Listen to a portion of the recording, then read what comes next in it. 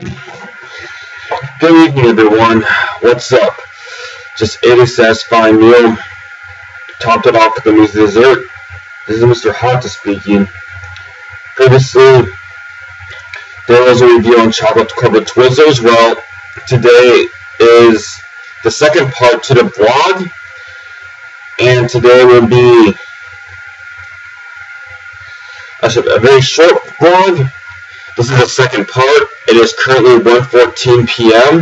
and it is March 4th, 2015. It is almost lunchtime, but before lunch is a little snack, chocolate covered Twizzler. It is a very relaxing afternoon, free of stress. Time to slack off and rest and watch YouTube videos. Mm.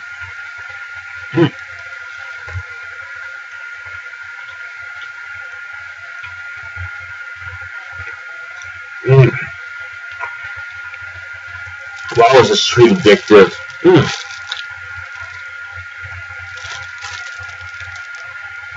Mm.